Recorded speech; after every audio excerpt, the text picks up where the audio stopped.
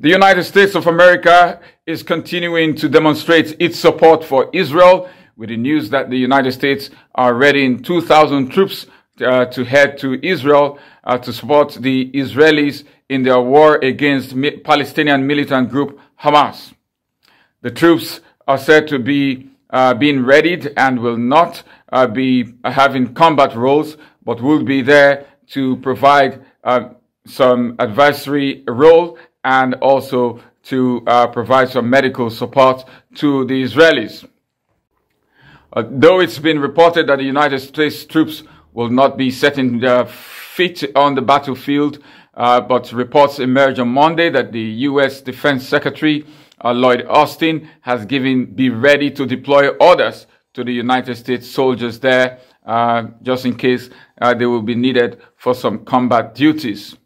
The uh, uh, Assistant Defense Secretary Sabrina Singh on Monday declined to confirm or deny the reports that uh, the United uh, that some United States soldiers have been put on be ready uh, to deploy uh, orders in the Israeli and Palestinian conflict.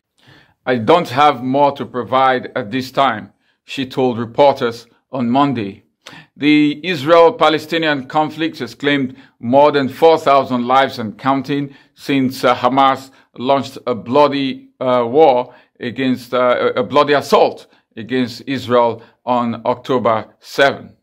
The United States has continued to uh, show its support for Israel, uh, and uh, recently the United States announced that a second, a, a second carrier uh, a second carrier has been deployed to the Mediterranean to support Israel uh, to join the, uh, the, the, the, U.S.